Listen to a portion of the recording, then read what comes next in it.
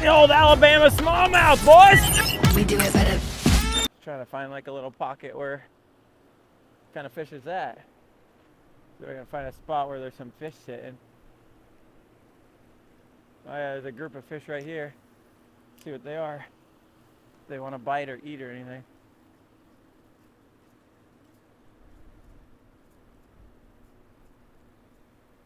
Yep, there's one. Oh! Had one on for a second. Looked like a smallie.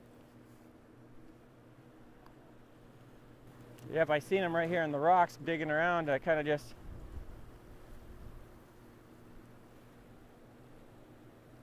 Dang it. Had him on for a second. Yeah, you can see him right here. Tucked down. If I can get it in front of him for a very long time. Oh yeah, they're smallies. Oh!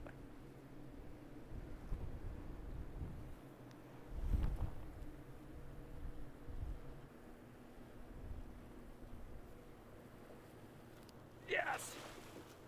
Got him.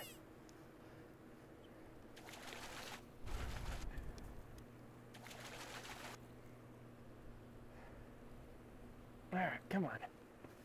Come here. All right, there we go. Snow Vision Special strikes again. I kind of was just walking along the rocks and I seen a group of fish kind of hugging the rocks. Look like they're, I don't know what they're doing, really stirring it up here. So I threw it out there and it was able to sit in the strike zone. I kind of just popped it around a few times. Got her on the old jerk bait. Not a huge one, maybe 12 incher, but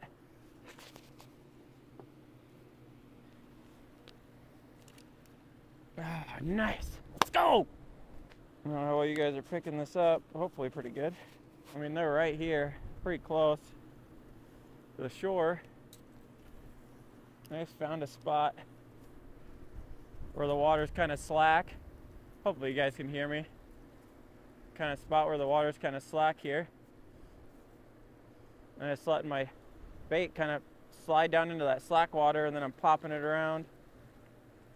And I'm not throwing it very far. Yep. Oh yeah.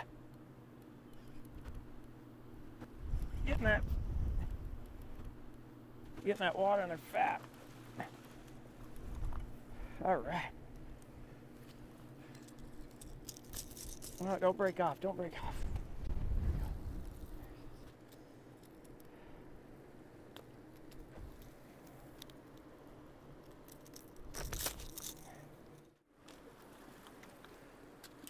All right. I had to come back and get my pliers.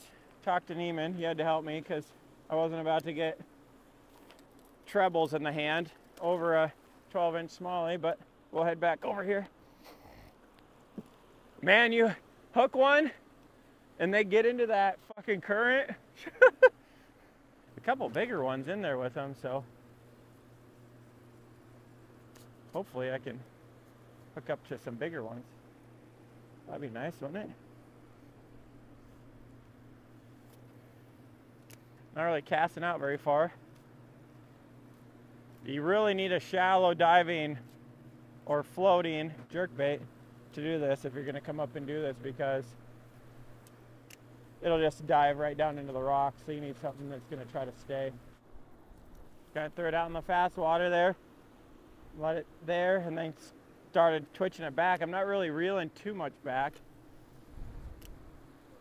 I'm just letting it sit out there and I'm twitching it.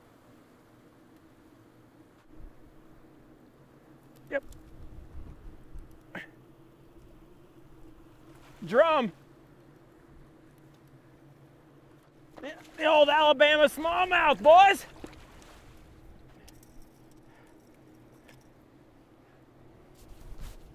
That's Alabama smallmouth. a bad size one.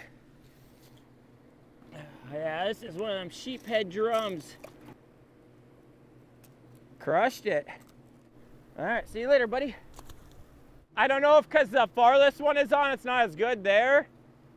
It seems like every one that I've caught sitting like if you can find a pocket of slack water.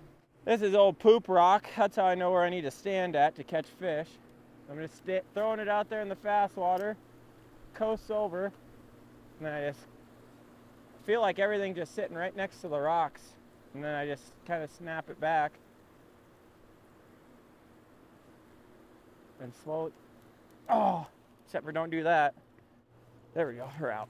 It's one good thing about fishing right next to the rocks. You can walk down and get on the other side of that rock. Once you're stuck, don't really yank on it because they're gonna you're gonna be able to get to the back side of it. Don't set the hook in too deep. I mean, if it is a fish, but stupid moss, stupid wind. Jesus Christ.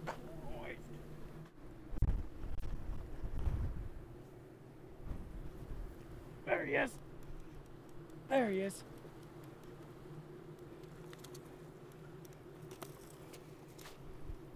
There's one.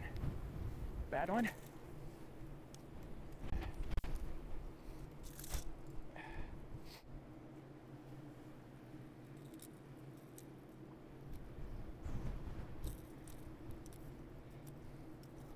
Ah, Gosh.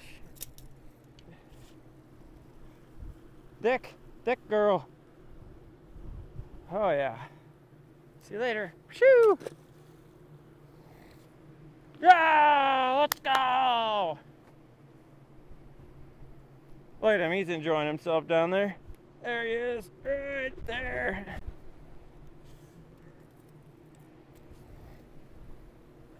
I'd say if you're gonna do this, bring your crappiest rod and a jerk bait you're not afraid to lose because you don't need no sensitivity around here, that's for sure. I'd say probably spinning rod. It's up to you guys though, whatever you want to do. A stiffer stiff spinning rod. There's one. There's one. Ah! Oh, digging.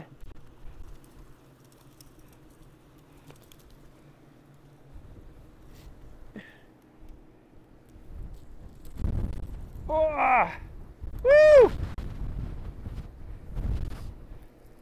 Just battling all the elements here, boys, girls, ladies, gentlemen. Let's do it.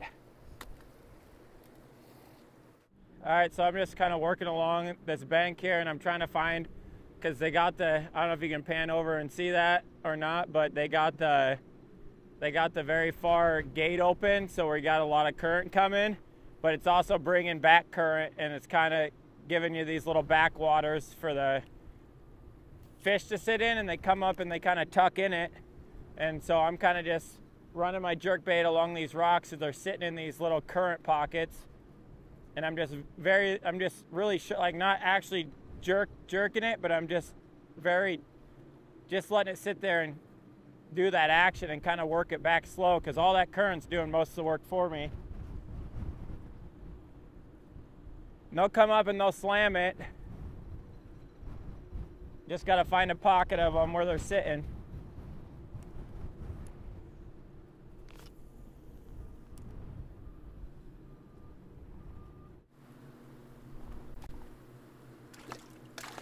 Oh, paddlefish came up right here. I don't know if anyone's gonna see it, but it like came up and turned and splashed. Well, I'm starting to see them again, so hopefully we can get them to bite.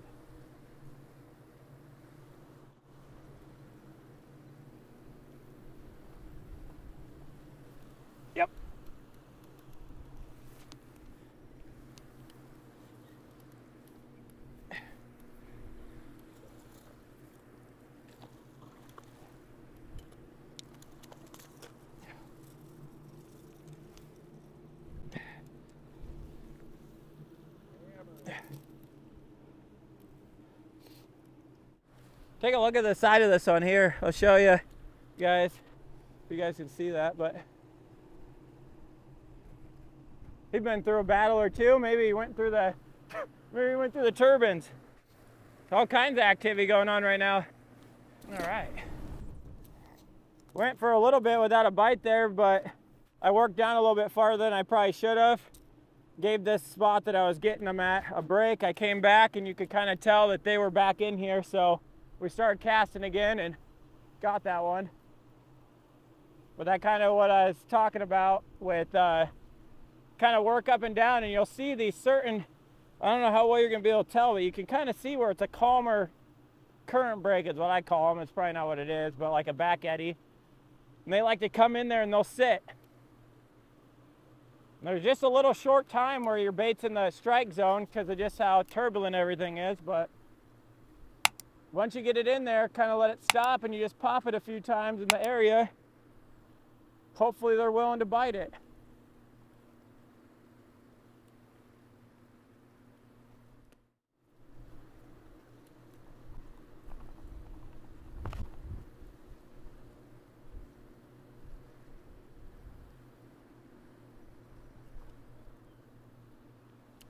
about all you can do on a day like today, really. I mean, I don't know, troll probably, I guess, but I don't think you're standing up top casting into the wind. There's some nicer sized fish down in here, but I think they might be just drum. Need the sun to come out.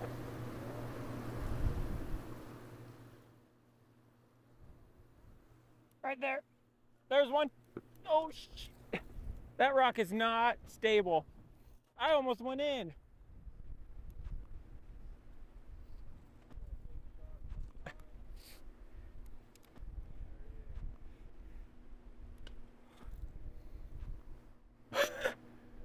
yeah, I, you didn't notice because you're there. This whole rock tipped forward, and I was like, that. I, holy shit. I thought I was going in. Had the bass pull me towards the water. The rock was flipping forward. Pretty dramatic there for about... It's no giant, but on a day like this when the wind blows and you have nothing else to do, pretty nice. And there are some really nice ones in here. I caught a couple nice ones. He caught at Master Angler last year, so I mean they're in here. Something to do on a day you can't get out on the boat. I think I'm gonna end this episode thanks everyone for watching. I hope you enjoyed it, and learned something. It was entertained, but caught a few decent smallies on the jerk bait. It's like a pretty cheap, I mean, this is a Shakespeare Ugly Stik, and then my brother made me this lure. You don't need much to come down here and catch some nice fish. So you guys have a wonderful day. That's it. I don't know. That's it. Cut. End scene. do it for